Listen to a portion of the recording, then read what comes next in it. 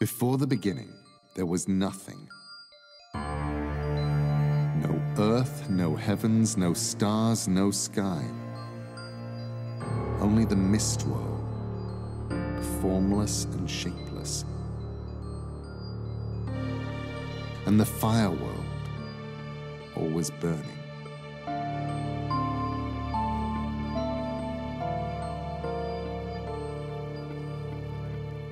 In Jotunheim, the home of the giants, is Mimir's well. Mimir, the wise one, the guardian of memory, knows many things. His well is wisdom.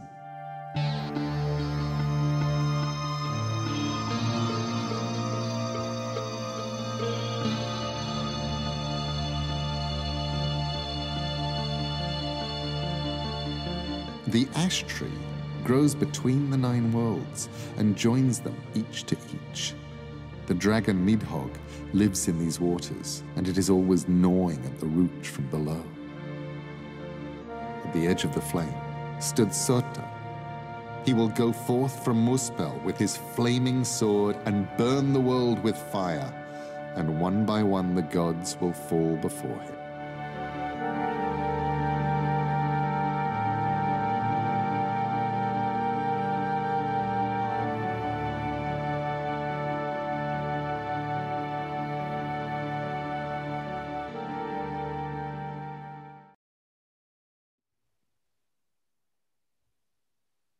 Well, hello. Good afternoon, our time, anyway, everyone. Uh, thank you so much for joining us. This is Dark Horse Comics, and we are here to go through the new comic book day releases with you today. Um, so I am joined today by editor Daniel Chabon. Hey, Dan.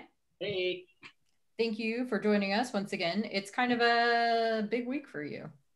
Yeah, I got a lot of comics uh, coming out today a lot of comics in comic shops, and we have some graphic novels and other books too, which we're going to talk about. Um, they are typically released in comic shops first, and then two weeks later in uh, bookstores and wherever books are sold. So some of these you can get in about two weeks at bookstores, but we're still going to show you today because comic shops get them first.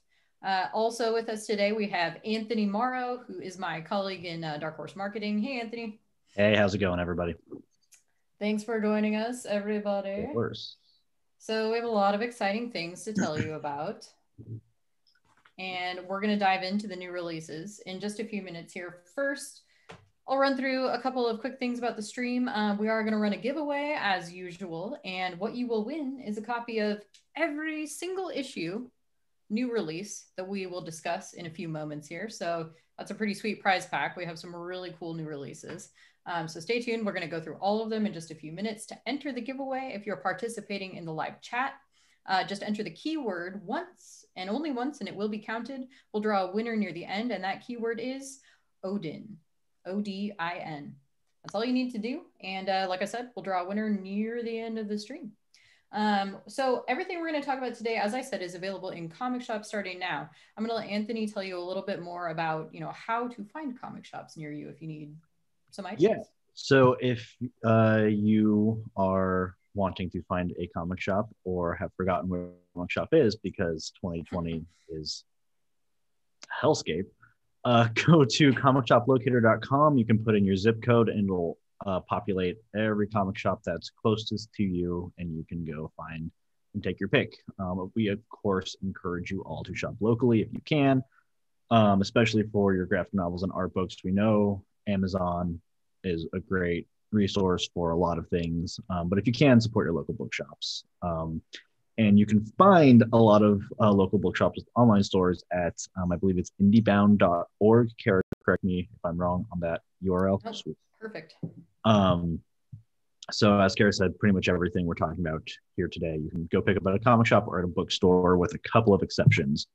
Um, those being uh, some of the exclusive comic bundles and our convention exclusives, which you can get at direct.darkhorse.com. And we will tell you all of those in detail momentarily. Um, we have one digital sale going on right now. Uh, so we we do have our own digital website, Dark Horse Digital, and that's digital.darkhorse.com, or it's available as an app on iOS and Android. Um, all of our digital comics are typically available on uh, Comixology and Google Play and other sites like that as well. But we are offering all month long in October a special horror digital sale because at Dark Horse we love horror. We publish a lot of horror. So this digital sale, everything is 50% off. That includes single issues and graphic novels and even some art books. Um, you can get series like Alien, Predator, Hellboy, BPRD, Beasts of Burden, one of my personal favorites, Harrow County, all those um, classics and newer originals. So check those out at digital.darkhorse.com. Um, and there's a lot on there. I mean, there's over 50 pages to browse through. So don't stop at like page one. um, and that's that's our main big digital sale for the whole month. So that's that's it for digital sales. We are going to run through a couple of recent announcements as well, and then we'll dive into those new releases. And so uh, yeah. Anthony's going to tell you first. We have uh, New York Comic Con is going yes. virtual, so we've got a few announcements around that. Yeah. So, um, as we all know, if this was a normal year, today would be day one of New York City Comic Con. Um, as it stands this year, we're all doing the quarantine from home thing. So they have their virtual, what they're calling metaverse. And to support that, we have a virtual shop at digital. Nope, direct.darkhorse.com um, that has our convention exclusive web store on there. So we have our um, Christian Ward variant cover for American Gods. We have our uh, Matt, Kit, Matt Kindt Bang sketch cover, our uh, Christian Ward variant cover for Black Hammer Justice League, um, our Babs Tarr variant for Vox Machina Origins Series 1, um, our Critical Role Vox Machina Origins pin, Cyberpunk Night City pin, our Hellboy Secret of Destruction Anniversary Edition number one, um, a Machine Gun Wizards book plate um, that is, you know, uh, Christian Ward's and Sami Kivelä's uh, Creator Own series that we put out last year. We have uh, a convention exclusive for StarCraft Scavengers issue number one. We have a glow in the dark variant for Stranger Things number one. We have a Dragon Prince pin. We have our Umbrella Academy Mike Mignola variant cover. Uh, we have our Christian Ward X-ray, X-ray robot variant cover, and we have our um, Xerxes gold foil variant cover um, by Frank Miller. So you can find all of that in our convention exclusive shop at direct.darkhorse.com. There's a lot of Christian Ward. A lot of Christian Ward. I just realized that going through this list, I'm just like, this is a lot of Christian Ward. You say his name three times and he pops up on Zoom. There's a, a well, yeah, that um, Christian. If if it's not like the middle of the night for you in the UK, you yeah. get summoned. Um, that X-ray robot cover too. I I like to call that out because uh, that was going to debut at Emerald City Comic Con earlier this year, which of course was the first one to kind of fall victim to the COVID outbreak. Um, so we weren't able to release it as planned. Um, but the cover art for it is inspired by Nirvana's Nevermind album cover. And so it was kind of timed with Seattle at Emerald City Comic Con. So just a you know, fun little tie-in. Now, now you know why. Um, each variant cover for X-Ray Robot is um, kind of an homage to a classic album cover. So that one, I, I just really like it. We love Christian Ward's art, obviously, and he does these amazing variants for a lot of our convention exclusives. Yeah. Um, multiple Eisner Award winner Christian Ward does a bunch of our convention exclusives, which is great. And so we, there aren't a whole lot of panels uh, involved in New York Comic Con this year, but they are offering um, a selection of some virtual panels that you can watch on YouTube. And so Dark Horse does have one panel um, that will be on Friday, October 9th, and it's 12:55 p.m. Eastern Time, 9:55 a.m. Pacific Time. We're in Pacific Time here, um, so I always tend to hit that time uh, in my own brain, but so it's kind of early in the morning if you're on the West Coast, like we are, um, about midday if you're on the East Coast. But the title of the panel is Creating Worlds Building a Comics Universe for the Ages. And we have some of our um, comics creators, writers, who mostly work on creator owned and also some licensed comics. And they're going to do a discussion about working in those worlds, especially the, the creator owned ones. And so the participants are Jody Houser, who you know, she writes kind of everything for Dark Horse. She writes uh, Stranger Things, the Critical Role Vox Machina series. Um, she's also done StarCraft, for example. So very prolific. Um, Nnedi Okorafor, who is also the Eisner and Hugo Award winner for LaGuardia with Dark Horse. Uh, Chris Roberson, who writes for Witchfinder and iRobot, and Gene Luen Yang, who, of course, is one of the writers on Avatar The Last Airbender. And, you know, a few others that just won Harvey Awards, like Superman's uh, Smashes the Klan and, you know, a few other, few other books like that. So very exciting lineup for that panel. Again, that's on Friday, October 9th, um, 12.55 p.m. Eastern and uh, three hours earlier or later, um, earlier, time zones are difficult, um, on the Pacific side of the coast. So uh, that's our main panel. That is on the New York Comic Con website and their schedule, which is live now. And then we also have a joint panel with Syfy because Resident Alien, which is a comic series that is published by Dark Horse, uh, is being made into a sci fi series it's been delayed by COVID, just like everything else. But um, this is a kind of a nice way to revive and get the energy going around it again. Um, this panel is also on Friday, October 9th. This one is at 4.55 p.m. Eastern Time, 1.55 p.m. Pacific Time. Um, it's a sneak peek and panel featuring executive producer and the cast. So you'll be the first to see 10 minutes of the new series, the first episode. Um, and then it'll be followed by a virtual Q&A with Alan Tudyk, you might know him from, you know, Firefly and Rogue One. He's the star of Resident Alien, the new series. Um, writer and executive producer Chris Sheridan from Family Guy will also be there, as will cast members Sara Tomko, Corey Reynolds, Alice Wetterlund, and Levi Fiehler. Um, it's going to be moderated by IGN editorial manager Laura Prudom. So we're pretty excited about that. Like I said, you'll get you'll be the first to see live um, the first 10 minutes of the new series. And I think they'll give you some more updates on uh, what's going on with the series. So yeah. check that out. Resident Alien, again, it's based on a Dark Horse creator owned comic. So check it out. Yeah, if you want to catch up on that comic, we have uh, Resident Alien Omnibus Volume 1, which collects the first three graphic novels in the Resident Alien series. Um, that is for sale currently, as well as um, the sixth arc of the series, Resident Alien Your Rides Here, which is going to be launching uh, the issue one in comic shops later this year or early next year. I'm forgetting the exact date, but you can go pre-order that at your local comic shop right now. It's a great sci-fi series, like science fiction, not the network. Um, and I think you would enjoy it if you have not yet checked it out. There's a lot to catch up on too. A lot of a lot of uh, volumes to read. Yes, and it's it's very it's very good. Um, Peter Hogan, Steve Parkhouse, they killed it. It's a very at times funny, at times heartbreaking, all the time heartwarming series. Um, it's incredible. It's a really good uh, series if anybody's looking for a COVID read right now. Uh, highly recommended. So that that kind of wraps up our New York Comic Con coverage for now. Um, con exclusives, get those virtually on our uh, Dark Horse Direct store, and then those couple of panels. And we'll remind you about those on Dark Horse social media throughout the week too. So check back in for that. We're on Twitter, Facebook, Instagram, the usual. Then we have a couple of other announcements that have come out just recently. Um, one I think Anthony's pretty excited for. Yeah, so earlier this week, we announced uh, through Dark Horse Direct um, the True Lives of the Fabulous Killjoys National Anthem number one. It's a variant comic bundle.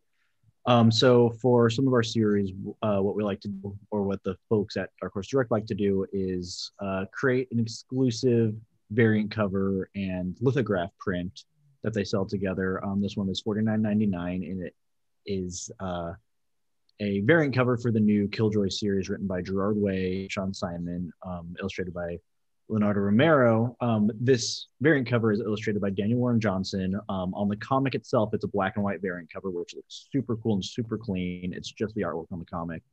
And the uh, print itself is colored by Mike Spicer. Um, it's printed on rose colored paper, uh, which really kind of gives it a very cool uh, pink tint to the rest of the artwork. And um, it's it's just really cool. It's a really cool variant we we were able to get done for um, Gerard's new comic. So everybody should check that out on direct.darkhorse.com. Um, again, it will it's retailing for $49.99. Uh, it's limited to 300 copies too. So if you want one, get in on it now. Yeah, most of our uh, Dark Horse Direct exclusives are limited, so Yeah. make sure make sure you get on it quickly in, if you are determined to get one.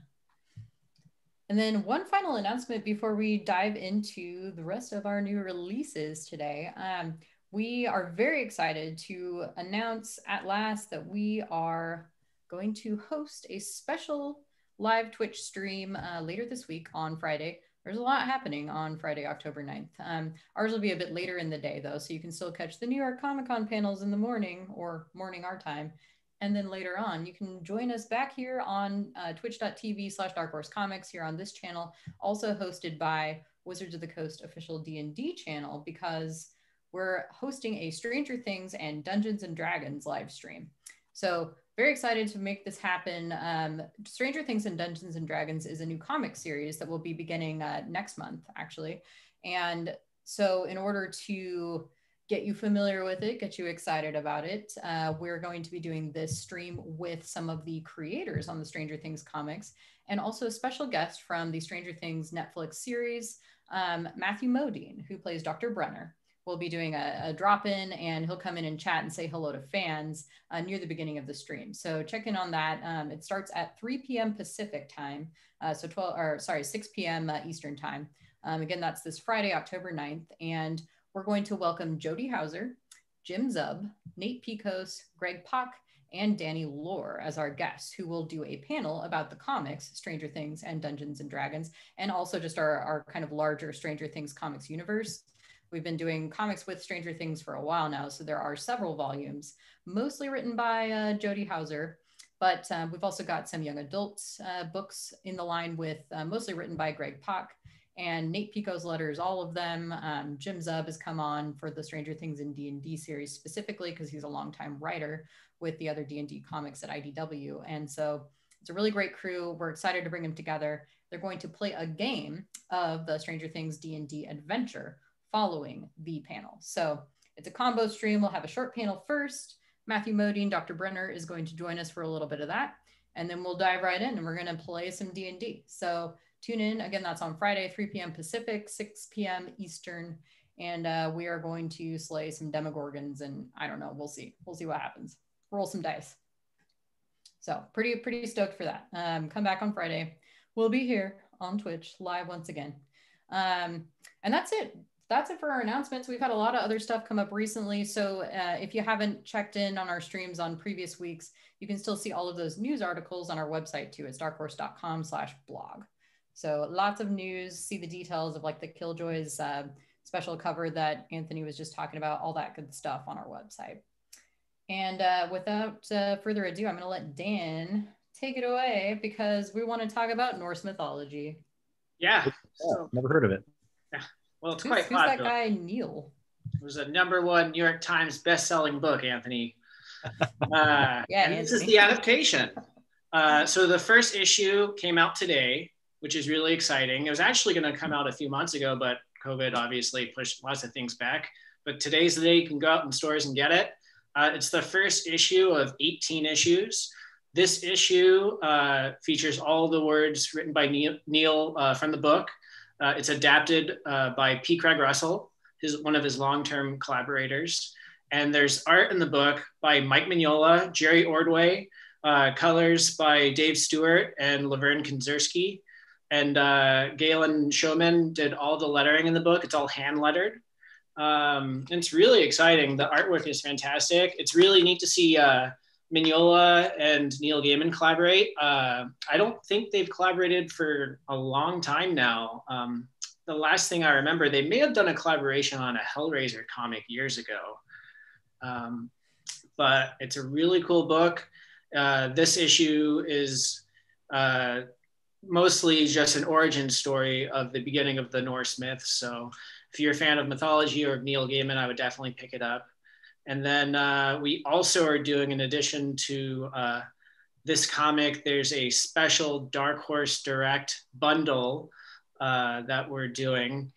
where uh, we have a print drawn by Bill Sienkiewicz of Thor, and it's printed on this like special holographic foil. It's really cool. So the print itself is 11 by 14, and then there's uh, a comic that will come with it. There was one comic that was signed by Bill, but those had already sold out, unfortunately.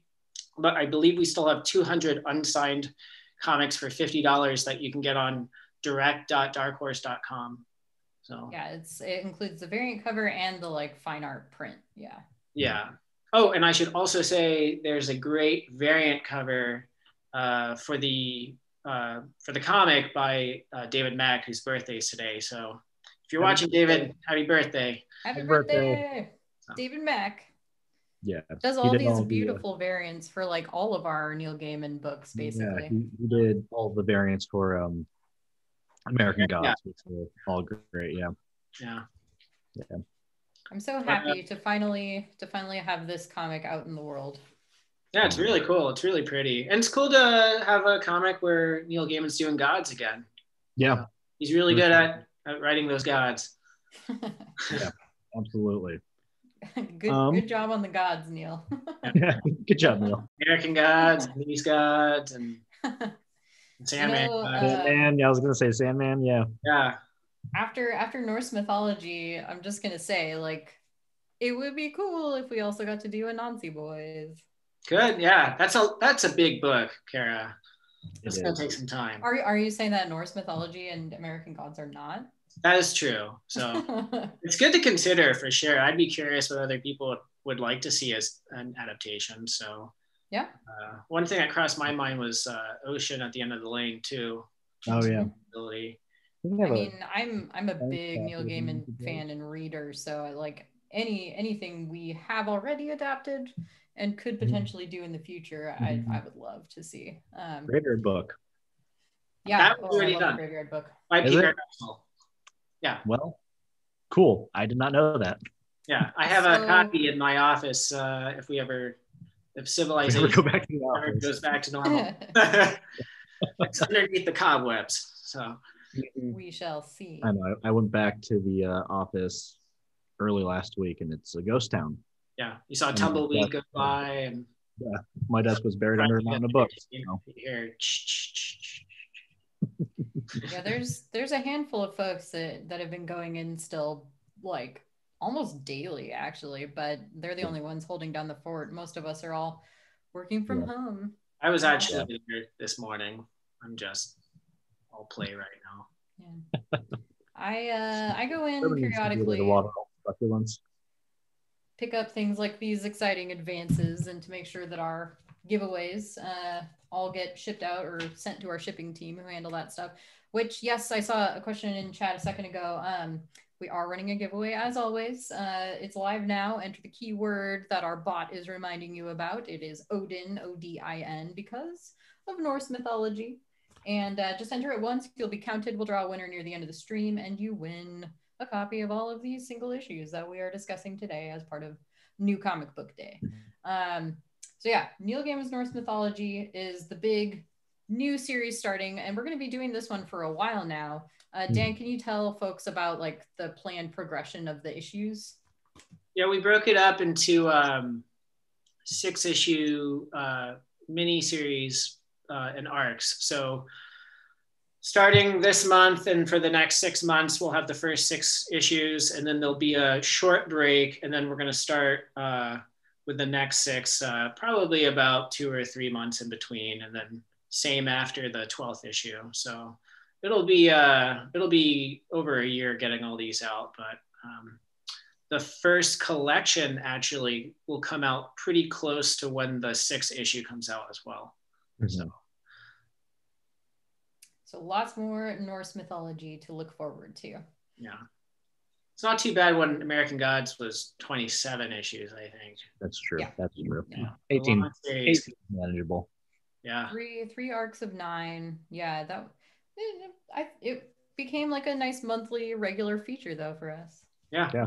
Quite a long time. And now it's collected in those really nice hardcovers that I I like a lot. Mm. Well, we do Um, have a lot of other uh, large, important new releases today. Norse mythology is kind of the crown, the jewel in the crown, I think. But uh, Mhm. we have a few others you might have heard of too. I'm gonna let Anthony tell you about the next one. Yeah, so uh, today, Alien, the original screenplay number three, is out in comic shops. Um, it is adapted from the screenplay written by Dan O'Bannon for the very first Alien movie. Um, it is adapted by Cristiano Seixas. I believe I'm pronouncing his name horribly wrong, and I apologize. um, and it's illustrated by Guillaume, Guillaume Balbi, um, colored by Candace Hahn, uh, standard cover by Guillaume and Candace, and a variant cover by uh, Walter Simonson and Dave Stewart coloring. Um, so that's our very last series uh, we are publishing as a publisher, and it is a very, very one. We're very, very lucky and grateful to be able to to get you guys the um, Alien the original screenplay out um, in a similar vein as um, the Alien Three uh, screenplay adaptation, and um, it's fun. It's a fun one. yeah, the creative team is very excited about it. Yeah, we had. Um, I don't know if there's still any copies left, but we had much like the Norse mythology and Killjoy's Dark Horse Direct variant. We had one for Alien, the original screen as well, and I'm unsure about quantity levels about that. So So Dan, um, you darkhorse.com. edited this one as well. The alien one. Yeah. Uh, Are, are you not on this series? I did the No. William uh, Gibson Alien Yeah. Right. and, And, Dead Orbit, right? one. So Yeah. those were my two big goals uh, before Aliens went to Marvel. Yeah. Alas. Yeah, for anybody who didn't already hear the news, uh, 20th Century Fox, of course, actually owns the franchises of Aliens and Predator. And so uh, they have, after 30 plus years of Dark Horse publishing for both of those um, franchises, they have decided to move it along. Um, they are, of course, you know, kind of together under the umbrella with Marvel and other companies. So, alas, Dark Horse will not be publishing any more Alien or Predator comics. This is our last our last series, like Anthony mentioned. So, uh, make sure to get these and all of our previous Alien and Predator books, which are available at comic shops and bookstores now, uh, because once we go into 2021, Dark Horse will no longer be able to um, sell or distribute those at all. So, get them while you can. Mhm. Get them while they're hot. and this is the original screenplay is a very very fun series. It's if you're an alien fan this is something you're for sure going to want to pick up and for sure going to want to read. It's just a different familiar story. And um, if you're at any level of fan at all like me it is just a real treat to look at so. Yeah, the art the art is gorgeous. I I really like the main cover art for well for all of these, but I like this one Yeah. it's it's kind of following the uh the cover treatment that dan i guess you laid out for the uh, william gibson alien 3 Yeah. covers um, and it's just it's a cool cover treatment i think it looks really clean it looks really neat Yeah. spooky I think fits with the along. Gibson one, we were trying to just go for something like the old school movie poster. yeah Yeah. Yeah, I think that's why in my mind you're like still involved with all of these. Yeah, that one was, I mean, I did that Gibson one just because I was such a big fan of his writing and I knew that that was kind of a cult screenplay that existed. Mhm. So, uh, Yeah, we got a lot of fun to work about- with, and he was a part of it. He got to approve, well, he got to review a lot of the art and stuff as it was coming in. So um, it was neat to see like an unfilmed movie have another life. And I've always been kind of interested in that kind of a thing. Mhm. So Yeah, I think it, as as Anthony was saying too, like these these are definitely a good read for fans of the Aliens franchise. Um, Yeah. I I enjoy getting these other versions of the story. It's this series is very different from you know the Alien movie that we ended up with, of course. yeah So it's fun and interesting and has different characters, and the aliens look quite different. Well, this is just the beginning of actually a quite a large uh, release week for us. Um, so, also out this week, I don't have a physical copy of it to show you, but we're going to switch gears a little bit from single issues to a manga. Uh, you may have heard of this manga before, it's a bit of a classic. uh, we're very excited to release the next deluxe edition manga. Um, we have been doing deluxe editions for Berserk and for Hellsing, and now we are excited to bring you Blade of the Immortal in the deluxe oversized hardcover format that has been so uh, well received with Berserk and Hellsing. So now you get to see all of the original art by Hiroaki Samura uh, for Blade of the Immortal in this larger, you know, more authentic format. And these deluxe editions, it's not leather bound, it's kind of a faux leather cover. Um, very nice textured um, color artwork on the covers and with a ribbon bookmark um, to hold your place in these massive tomes. Um, Blade of the Immortal, of course, is a classic. Uh, we have our young girl and she is on a quest for revenge. And I don't know, did you guys see the movie adaptation that came out a couple years ago? It was like slasher samurai film. Uh, parts of it. It's by uh, Takashi Miike. Mm-hmm. Yeah. Yeah, we that was nice because I think it, it introduced more people to the manga. Like some, so we gained um, some new interest in in the manga at that point. And yeah, he's a cool director. He's great. Yeah, yeah, I enjoyed it. I mean, is it the greatest movie of all time? No, but I enjoyed it. They can't um, beat Captain Ron. so, uh, Blade of the Immortal, these deluxe editions, just like our other deluxe edition manga, they collect a few volumes in one. So, this collects volumes one through three in a seven by 10 inch serialized format, uh, bound, as I said, in a faux leather hardcover and um, with a nice ribbon so you can keep your place. And we will continue to put these out. Um, you can see uh, the next one up for pre-order on our website, darkhorse.com. And uh, a common question for this, I'll, I'll, touch on it briefly, but a common question we get is, will this be flipped? Uh, yes, the original files that we still work with are the ones that have been um, localized for a Western audience. So we are still working from those. Um, but again, uh, they are beautifully done. They were actually done very custom for this series. This series um, first came to Dark Horse a couple decades ago now, and um, they kind of invented a new lettering process for this manga. So we've been sharing an article on our social media by the editor on this series, Philip Simon, um, which kind of explains how that process was developed and um, like the custom lettering that I mentioned, how that came to be and, and why we have continued to use this format for these deluxe editions. So they really are beautifully done. And if you're a fan of the Blade of the Immortal manga, highly recommend you check this out. Available uh, comic shops now and bookstores in two weeks. And now I think we are back to Dan. He's going to tell you about the next on our new releases. Yeah, so uh, we have out today the World of Black Hammer Library Edition Volume 1. This is the first uh, oversized hardcover collection that collects some of the uh, tie-in miniseries that we've been doing in the Black Hammer universe. Um, if you haven't been reading Black Hammer, it's Jeff Lemire's uh, Eisner Award, award-winning series that he does with uh, artist Dean Ormston. Um, it's kind of a bizarre homage to the different eras in uh, superhero literature. And so this uh, collection, these tie-ins, um, feature two different books that we did. One called Sherlock mm-hmm. Frankenstein, was written by Jeff and drawn by a Spanish artist named David Rubin, who is awesome. And uh, another book called Doctor Andromeda, uh, that is by an equally awesome artist named Max Fiumara. Uh, so Sherlock Frankenstein is kind of uh, like a weird crime mystery story that features the daughter of Black Hammer trying to figure out what happened to her dad and so she's interviewing a lot of the villains that he fought in each chapter to kind of figure out what led to his disappearance and where he might be.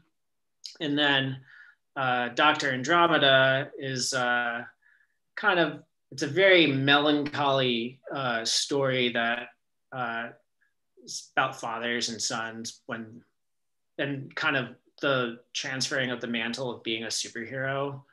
Um, definitely worth checking out if you like a good cry. But yep. it's a, an amazing book. Very uh, sad. Beautiful book, but yeah, it might make you a little sad, especially at the end. So, um, it's gorgeous. But, I Fiumara's art in that book is just phenomenal.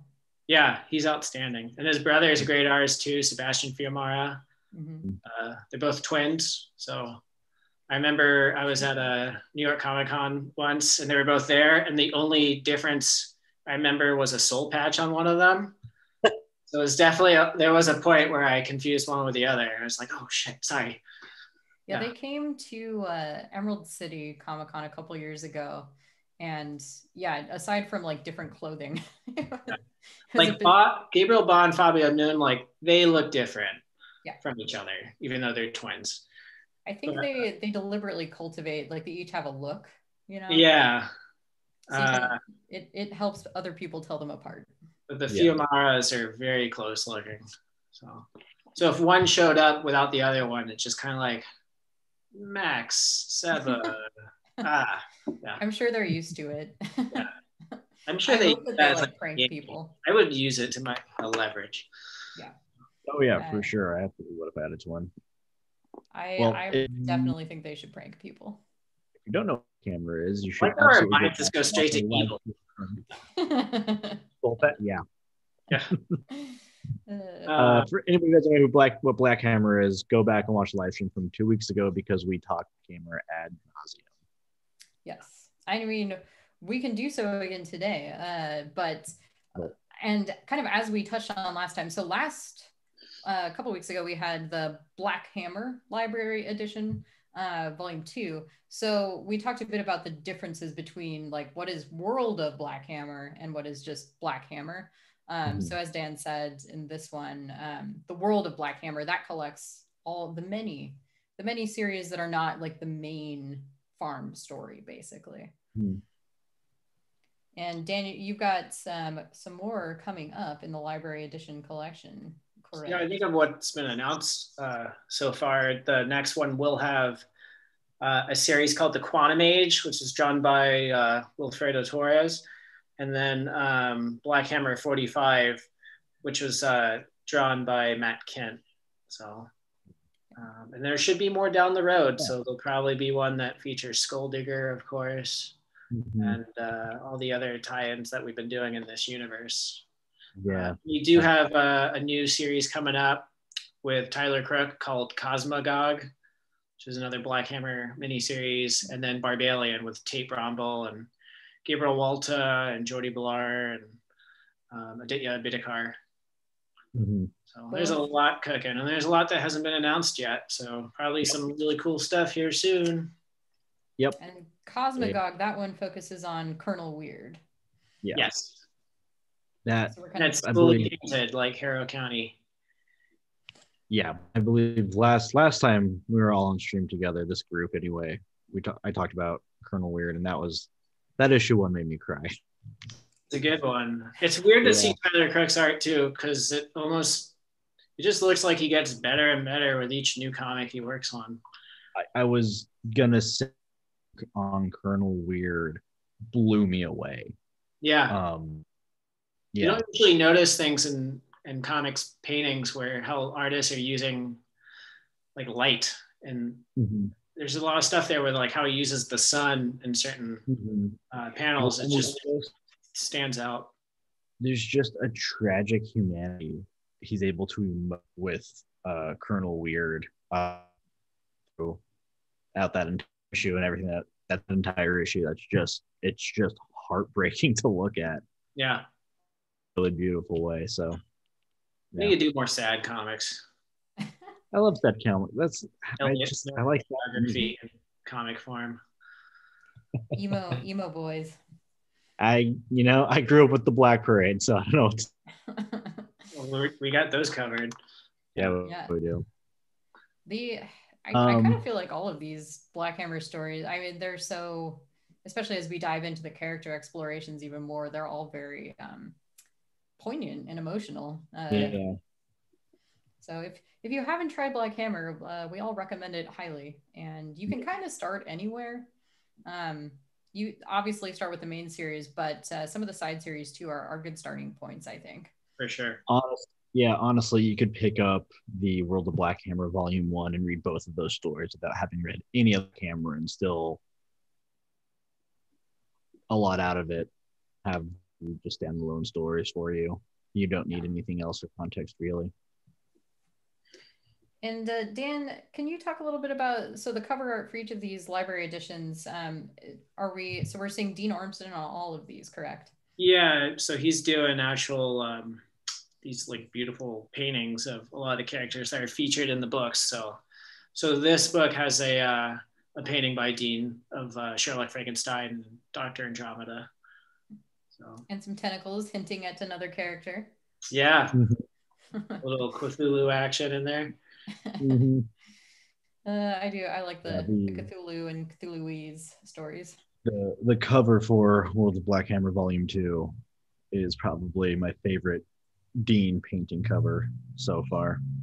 Yeah, you might see more Cthulhu or Cthulhuese down the road. So maybe. Yeah. My hope is some Golden Goose comics, but yeah, they do every character. Golden Goose mm-hmm. and Golden Gale, like partnership. I would love to see it. Yeah. Just saying.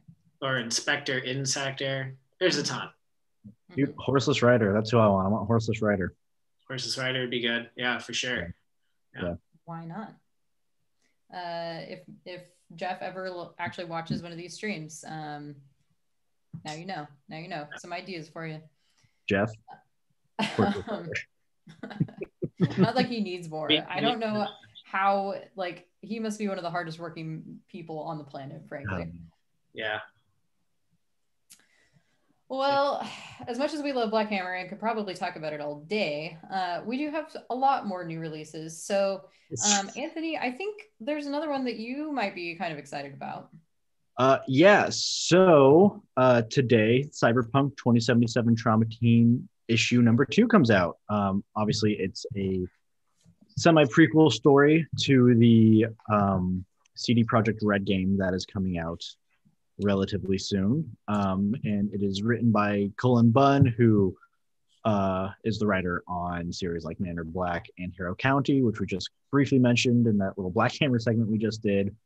Um, it's illustrated by Miguel Valderrama, um, colored by Jason Wordie, with uh, a very actually cool. I really like this cover a lot. This cool cover done by uh, Miguel Valderrama. So, if anybody is excited at all about Cyberpunk, if y'all like dystopic, hyper tech futures, uh, if y'all are craving a little bit of Blade Runner, um, check these out. They're super cool.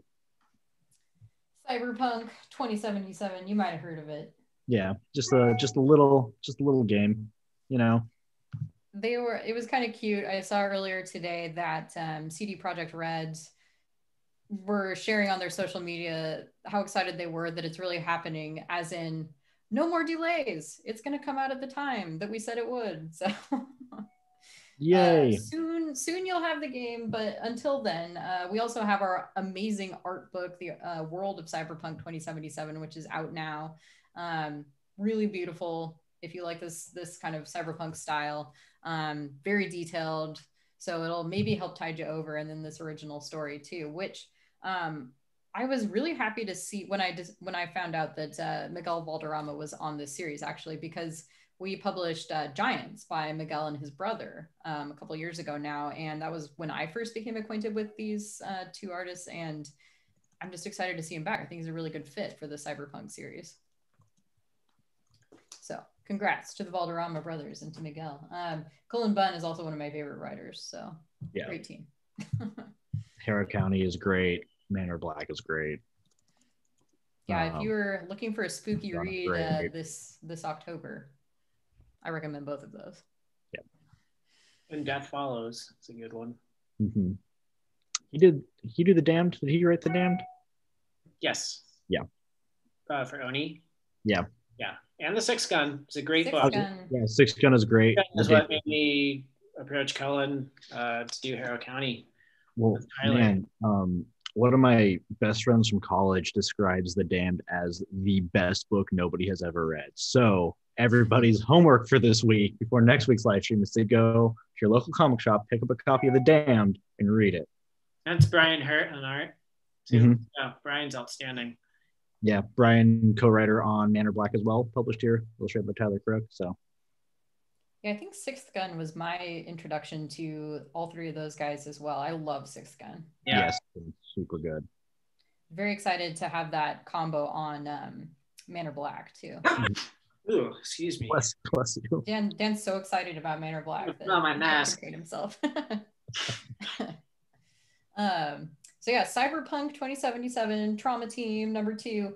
These issues have been really popular, so make sure you um, go to your comic shop and pick it up. But I, I would also suggest getting a subscription if you don't Yeah. have one set up, or like setting up a pull list. Um, most comic shops offer something like that. Yeah. We, they know how many to order, and you make sure you get a copy. Yes. I know I know those issue ones uh became very difficult to get uh within the first like week of it coming out. So if you don't want to miss out on these, as Gara said, get get a subscription box for sure. Yeah. And I know, you know, a lot of folks may be newer to comics and, you know, found out about it from video game. So yeah, that's a that's a thing you can do at comic shops. Maybe kind of old school, but it works. So subscriptions and pull boxes, and then you can go and and get your full comics pull every week or every month or however you want to do that. So um, it's it's a nice way to go. So um, another comic that uh, some fans might be excited about, who are maybe Woo. fans of a show, uh, The Orville is back this week. We have a new issue of the Orville comics. This is Orville number two, launch day, part two of two. Um, so the way that we've been doing these Orville comics is they're released in pairs. Uh, this is the second pair so far. So there's two issues and they kind of combine to tell one story, sort of like a- an episode of the show or like a pair of episodes that tell one storyline. Um, and these are actually written by uh, David A. Goodman, who is one of the writers on the show. So very authentic. The art is by David Cabeza, who does an amazing job. Um, he's a big fan of the show, and you should follow him on social media because he's constantly posting little art teasers and um, interacting with fans. If you have questions about how he does uh, his amazing artwork for this series, he's very friendly and open, and you should go find him on Twitter. Um, and then Michael Atiyeh is a colorist for us on many series. He's the colorist on this one as well.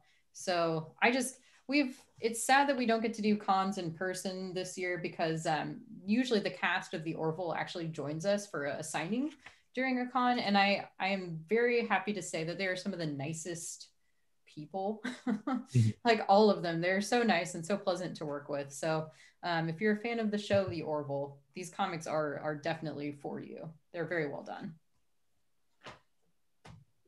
Launch day, part two, too. Um, let's see, what is next on our list here? Oh, Dan, you have another one. Yes, I do. Spy Island. Spy Island. This comic's a lot of fun. So this is the uh, second issue of a four-issue series by Chelsea Cain, Lia Miternique, uh, Elise McCall, Michelle Rosenberg, and Joe uh, Caramagna. Um, and it's a lot of fun. It's uh, it's about a, a woman who's a super spy, and she arrives on this island of all these weird and quirky assassins and killers and super spies. And there's a murder in the waters of the island, and um, there's some weird mermaids involved that are just these kind of monstrous mermaids, not the pretty uh, Disney kind. Um, and there's uh, just a lot of weird esoteric stuff going on. And this island, by the way, is in the Bermuda Triangle. Mhm. Uh, and meanwhile, she's also learning about her missing father. Uh, I really don't want to spoil anything, but it's really good. So I should probably just stop there. But uh, you know, if you're a fan of Mockingbird or Man Eaters, I would definitely pick this one up. Yeah. But it's a great mystery. It's a lot of fun, and the art kicks ass. The Yeah. art is amazing. Uh, Really clever. I really, I mean, so Lia does all the different covers for this. That's a lot of covers um, because there were three for the first issue. Um, Yes. I can't decide which one. I like them both for this, but I think I like the tentacles. That one's really cool. Um, and also, I mean, it is a sequential comic, but you also get all these really fun designs they do. Mhm. So there's a map of the island here. Like And then, fake uh, ads on the back here. The Mhm. ads are cool. And then you also, uh, there's a cool martini list. Some of these martinis you can make at home. Uh, age rating, maybe about 14 plus or so. Mhm. Um, but this one's a lot of fun. I think it's a different kind of book for Dark Horse, and I think folks are gonna like it. yeah, I'm I'm a huge fan of Spy Island. That that issue one really hooked me. It's Yeah. it's really fun. I really Yeah. like it a lot. I have seen many positive reviews online, and I see you're. Thank you for pointing out the. I haven't actually read this whole issue yet because I like to save them um, and not spoil them for myself. But uh, I love fake ads. I don't know why. I just love fake ads. I think they add a lot. Like there's a lot of those in the cyberpunk art book too. Yeah. Um, and I think it adds so much environment. So Anthony, do you think that you would have this drink here with the uh, Oh, let me. was there like reopen. anchovies in there? Oh, um, hard pass. Mermaid chum punch. Yeah, hard pass for a couple of reasons. Chum being in the name of the drink is probably reason number one. Yeah. Yeah, Anchovies is second reason, and third reason is I am not, not really, even on a dare.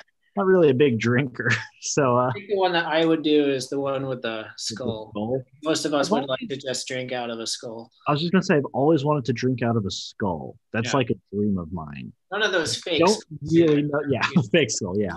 I like I like that existential dread. There's no recipe. You don't know what's in it. So Perfect. yeah, maybe I would try that. Like to live on the edge. Sounds like every morning waking up. You know. Yeah, the the mermaid chum punch. It's sort of like a Bloody Mary, but like more. My cats would swarm me and raid the um, anchovy garnish for Ooh, sure. okay, I know people exist that like anchovies, but I've never met one. Who wait? Who likes anchovies? Yeah, Oh, you were. Where? What route are you going down here now, my friend? I'm just saying, delicious. like, who likes them? Do Dan? Do you like anchovies? Yeah, of course. Anchovies are great, and What? they're good for you. They're bottom feeders. Not very You- high in mercury. Nice and salty. You sound like somebody who's had to defend your dietary choices to people. You sound like a guy that eats pineapple on their pizza instead. Of I do not, sir. I will eat it in my fried rice, but I will not eat it on my pizza. I don't mind pineapple on it either. I'll eat anything. I Anchovies are definitely good. Like our, our entire office knows about Anthony's um interesting fast food eating Listen. preferences. There's it's a beautiful, big, wide world of fast food eateries and options out there. God was my oyster. we do like to discuss, you know, the the latest new weird flavor of um oh I don't know, the latest new KFC creation or the new flavors of potato chips. Like Mhm, mhm. these these are the things we entertain ourselves with when we're There's a lot actually of talking pumpkin about stuff comics. at Burgerville right now, you guys. Well, Uh. Kraft Mac and Cheese made breakfast mac and cheese, and that was a topic of discussion a couple weeks ago. Anthony's usually the one that will have to dare to try whatever it is. It's not really a dare though, because You like have you to just dare to make me aware of it, and I'll try it. Uh, well, there is a I, strong word. I'll, I'll look into making some some versions of the cocktails in Spy Island, and you can be my taste testers. Um, Yes. uh, Dan, you can have the an- anchovy one though, because yeah, Easy. not not going there. Uh, Spy Island. Dark Horse really After good. Dark live You should you should read it, everybody. Um, ooh, one more really cool single issue. Anthony is going to tell you about it. Yeah, bang number four. So um, this is Matt Kenton, Wilfredo Torres' new series um, about a super spy named Thomas Cord.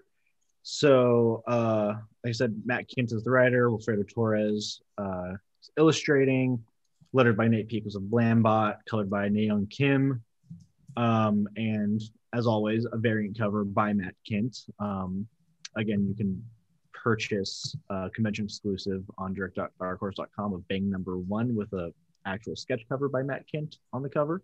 So that's always fun. Um, but yeah, this is Dan. This is another one of your books that you're editing. Uh, but this is a really cool, weird version uh, Matt Kindt came up with of kind of old pulpy heroes. Um, kind of the biggest homage is um, a James Bond kind of super spy, um, as evidenced by the protagonist named Thomas Cord. Uh, there's some weird dimension hopping stuff going on. There's just it's it's it's it's mysteries within mysteries, and it's just really fun to watch it all kind of play out. Um, and Matt Kindt, uh, almost like no other, can really tie everything together in a really satisfying, almost effortless way, um, which is just super impressive. So, if any of that sounds interesting to any of you, be sure to pick up uh, Bang number four and also three, two, and one, and also the trade when it comes out. It's fun. There's Keanu? no anchovies at all in Bang. There's no anchovies. So if you're like me He loves it. and refuse to eat anchovies, you're gonna like it. you've said that, though, like I wouldn't put it past Matt Kindt to find a way. To sneak in something fishy. I'll shut up. Uh, I'm out of here. this is entirely anchovy ratio. Just dad jokes from here on out.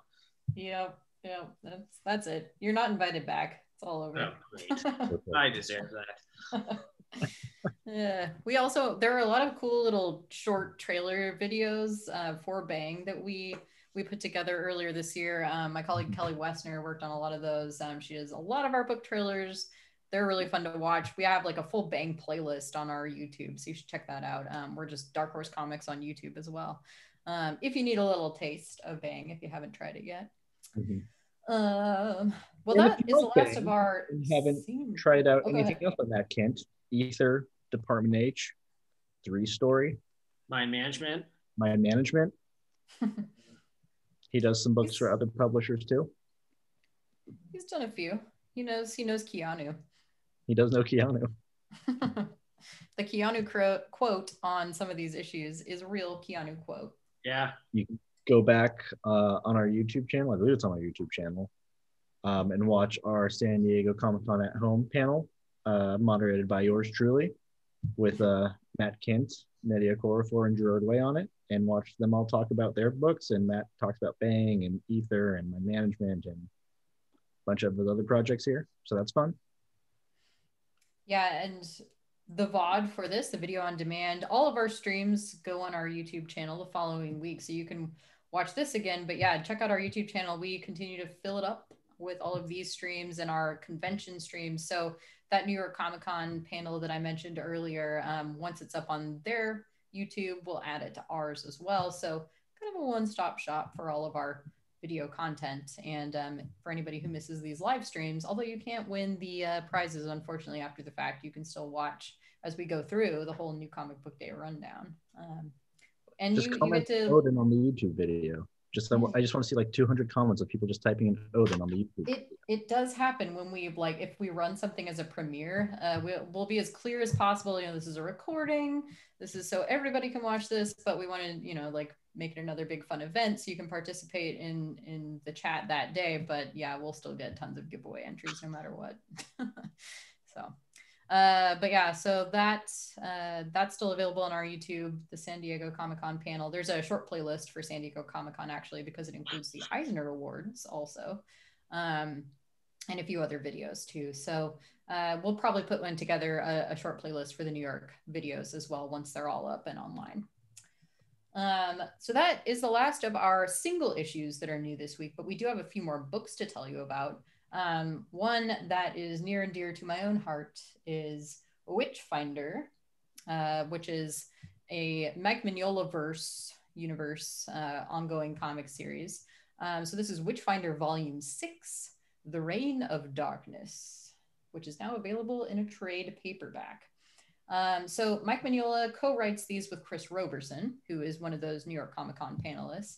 Um, super nice guy. Uh, hi, Chris. I I don't think we've had him on a stream yet, but we should do that soon.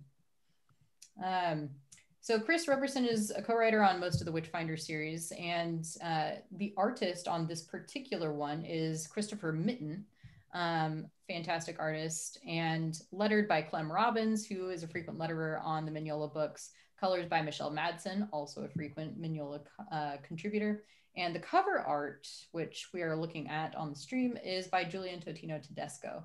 Uh, some nice blood red eyeball ravens um, to give you a sense of the doom of Witchfinder. No, I, I love Witchfinder. It's uh, the main character is Sir Edward Grey, and he is the Witchfinder in the service of the Queen of England. And so we have this Victorian London setting um, in this particular series, which is collected in the Reign of Darkness.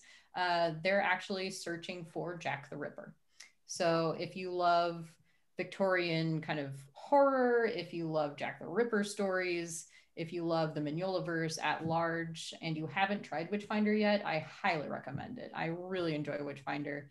And I think it kind of flies under the radar a bit, at least compared to Hellboy and BPRD. But again, if you like that more Victorian touch uh, in your kind of horror stories, then I, again, can't recommend this highly enough. I really like the uh, second one, the Western. yeah, yeah, yeah just very different. With the EC uh, artist John Severin did it too. It's his mm-hmm. last comic. Mm-hmm. Oh, wow, I didn't know it was his last one. He was drawing um, that, and he was almost ninety years old. He might have been he might have been past ninety when he was drawing it. Jeez, still still comicking. Um, but yeah, so as I said, this one is volume six, and so these each collect a full uh, mini series in each volume. So you've got a lot of Witchfinder to enjoy if you haven't tried it yet. And so that one's new at comic shops today and should be in bookstores in about two weeks. Um, I will also mention before we move on that one of my favorite characters in this series um, is featured prominently in this particular mini series, and that is Sarah Jewell, uh, the occult adventurer, and she is a badass. So yeah, read read Witchfinder and uh, tell me what you think about Sarah and how she teams up with Edward Grey because it's good. It's good. Let's see, what is next on our list? Oh, a little book, a little book that we've been uh, talking up for a little while now. I'm going to hold it up while Anthony. So, out now, and pretty much everywhere you can buy books, comic shops, bookshops, the uh, is Daddy Daughter Day, written by Isabelle Bridges Boesch, I believe is how her last name is pronounced, and illustrated by uh, her father, award winning actor Jeff Bridges. Uh, is Daddy Daughter Day, and it is a uh, children's book about spending time with your parents, kids, and it's just very wholesome, very interesting to look at. Um, Jeff Bridges has a very interesting art style, um, and it's just it's a it's a lot of fun. It's very cute that um, Isabelle and Jeff did it together. Um, very personal for both of them. And if you want, uh, I believe tomorrow at 9:40 a.m., Jeff Bridges is going to be on the Today Show talking about Daddy Daughter Day. So that's fun. They did a live signing event yesterday too on mm-hmm. Facebook and other online sources. Um, they've been Jeff and his daughter Isabelle, who did this together, as Anthony said. Um, it's very sweet and they're very they're very excited about it. Um, we really appreciate them taking the time to do events uh, to kind of tell you what it's all about. And coming up this weekend there is a holiday um, actually created by smokey robinson which is kind of cool um, who apparently had six daughters. And so he came up with the idea of father daughter day and so that this year is falling on a sunday so we will be doing some more Daddy Daughter Day events um, focused around that.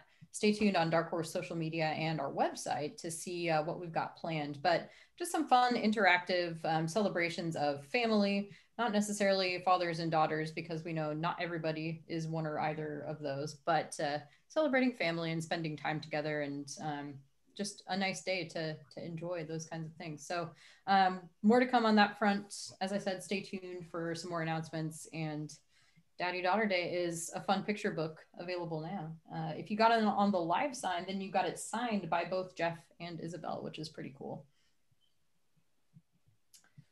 And we are near the end of our uh, new comics for this week. And the giveaway winner will be drawn in just a few minutes here, so stay tuned. If you haven't already entered, the keyword is Odin. All you need to do is enter that in chat once and only once, and it will be counted. And uh, we have one more new kids book out this week uh, Plants vs. Zombies, Volume 17.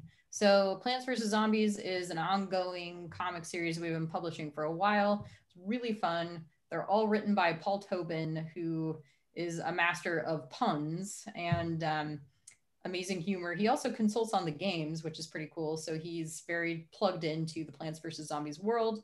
Um, we did a live drawing stream with uh, regular artist Ron Chan and also Cat Farris earlier this year with Paul Tobin as well. So you can still see that on our YouTube too. Um, so this is, as I said, volume 17. and its pun-tastic title is Multi-Ballistic. So, volume 17, Multi-Ballistic.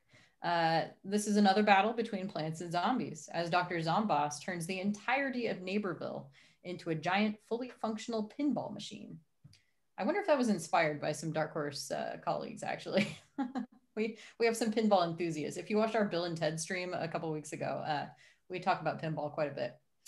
Um, so Nate, Patrice, and their plant posse must find a way to revert Neighborville to its normal state and halt this uniquely horrifying zombie invasion.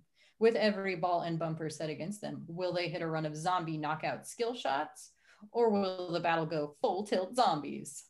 So Plants vs. Zombies, really fun. Kids really like these. Um, definitely, if you've got a kid at home who likes comics or maybe even needs some encouragement to get reading, uh, these are a great enticement for that. So, uh, this is available at comic shops today and again, uh, bookstores in about two weeks. And um, volume 17, these are all hardcover volumes, so they're nice and sturdy. And we do box sets as well. So, we just had a box set come out that contains the previous three volumes. So, there's a lot, a lot of Plants vs. Zombies for any kids or adults who like PVZ. Um, you can see them all on our website and you can find the reading order there as well. Um, and that wraps up our new releases for the week. Uh, Dan and Anthony, are there any any other notes you want to add about anything we talked about today, Norse mythology, anything else? Um, I know that uh, there was talk of X-ray robot at one point, and so I know that Anthony, we just announced uh, yep. a new Madman uh, Universe Library Edition. So this will be one of several volumes that will collect all of Mike Allred's work, um, his Madman focus work, and also uh, comics like X-ray Robot that have um, subtle threads to that universe. So if you're a big yep. Mike Allred fan or uh, Madman fan. Like I grew up reading those comics, so it's really great and cool to see that there's going to be a complete series of yep. fancy editions of them coming out soon. Um, it's definitely worth pre-ordering those. So the, the Allreds are an amazing family. And some of these will be in color for the first time too. Yep. And I mean, Madman too. Um, just that whole stuff like X-Ray Robot, those those comics have been published over a variety of publishers over the years. Um, that has been putting those out. So having them all now collected into a nice hardcover through us is is awesome and makes it much easier for fans on board and read and yeah uh, picking up all that stuff that you maybe haven't had a chance to see since some of that stuff came out in like the 90s and early 2000s. So yeah, yeah, that's thank you for calling that out, Dan. Yeah, we just just announced that it'll be um, available in the previews catalog for comic shops very soon, and it's up on Penguin Random House now for for book retailers and for pre-orders. So, yeah, very exciting. Um, it's it's nice to have that uh, to kind of supplement X-Ray Robot for sure. Yeah. Which you should also read if you haven't. Uh, issue two just came out, so there's a couple now for you to to get in on. And you can get shit. And you yeah, convention exclusive, nothing happened. The convention exclusive Christian Ward variant on direct.darkhorse.com. It's like hanging yeah. out with a sailor. uh, Sorry. So we did draw our giveaway winner. Congratulations to this is a long screen name. Awfully good oxymoron. Uh, you win all of the single issues that we talked about today. So send us a whisper on Twitch and we will get your information so we can get these shipped out to you soon. Uh, congrats and thank you everybody who has been participating in the chat today. Um, we will share all the details of all the panels we talked about earlier for New York Comic Con on our social media and on our website. So um, look there for those. And uh, as always, we'll be back next week here on Twitch for the regular weekly Wednesday New Comic Book Day rundown. And before then, make sure to check back in on Friday for our Stranger Things and D&D stream because we're going to talk about the comics and then we're going to play some D&D, which I'm very excited about. So uh, that's on Friday. Uh, time and details are posted here on Twitch. And uh, other than that, we'll be back Wednesday. Thank you, Dan. And thank you, Anthony, for joining us. Of course. Thanks for having me. And uh, that's that's it. We will let you all go on about your day. Go get some comics. Bye. Yeah. See you next time.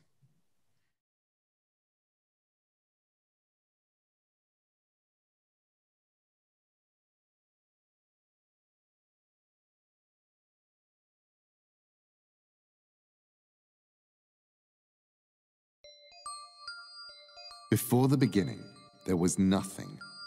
No earth, no heavens, no stars, no sky. Only the mist world, formless and shapeless.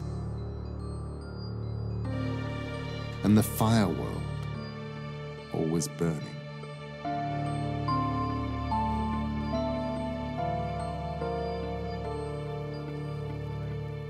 In Jotunheim, the home of the giants, is Mimir's well. Mimir, the wise one, the guardian of memory, knows many things. His well is wisdom.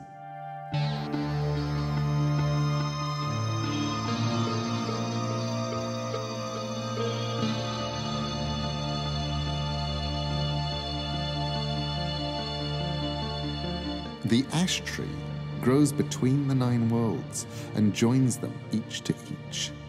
The dragon Nidhogg lives in these waters, and it is always gnawing at the root from below. At the edge of the flame stood Surtr. He will go forth from Muspell with his flaming sword and burn the world with fire, and one by one the gods will fall before him.